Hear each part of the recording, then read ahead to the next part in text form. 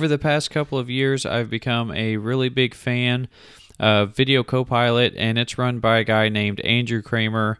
And you may have heard about this, but he's just he comes out with all kinds of visual effects software.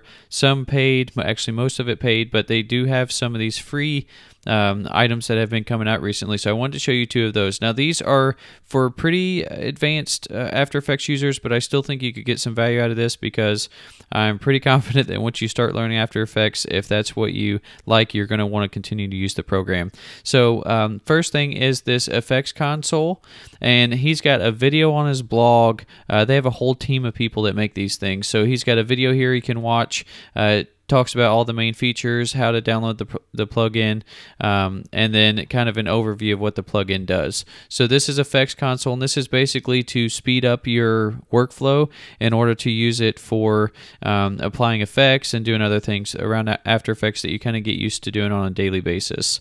And then the other one uh, I wanted to talk to you about was this Saber plugin.